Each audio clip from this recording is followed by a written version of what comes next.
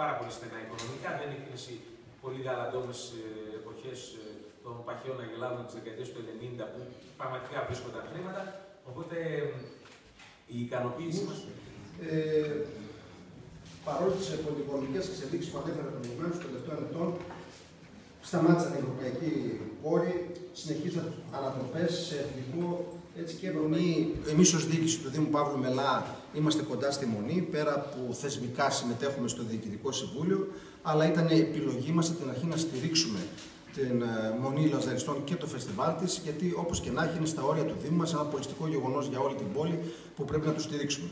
Μέσα Η ψυχή το... είναι της Μονής Λαζαριστών πέρα από αυτό το υπέροχο κτίριο και αυτούς τους χώρους πολιτισμού που φυλάσσονται εδώ μέσα και δίνονται τη δυνατότητα στον κόσμο να τις εκμεταλλευτεί και σε εμάς φυσικά.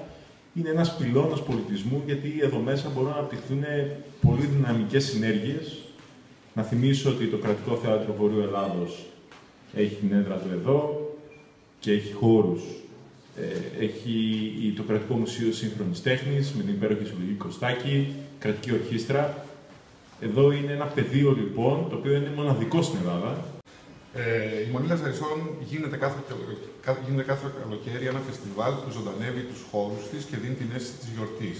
Το φεστιβάλ είναι μια εκδοχή του σύγχρονου πολιτισμού μας, όπως βιώνεται σε κάθε εκδήλωσή του όλα αυτά τα χρόνια. Συναυλίες και παραστάσεις είναι οι αφορμές για τη συμμετοχή.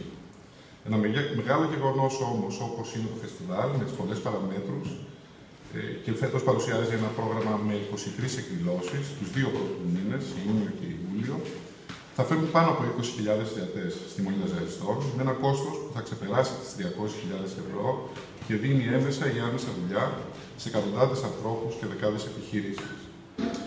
Η συμμετοχή της Μονίλα Ζαριστών σε αυτό το πρόγραμμα ξεπερνάει τις 50.000, ποσό μεγαλύτερο αν υπολογίσεις τις συνέργειες, τις παροχές και τις εγκαταστάσεις.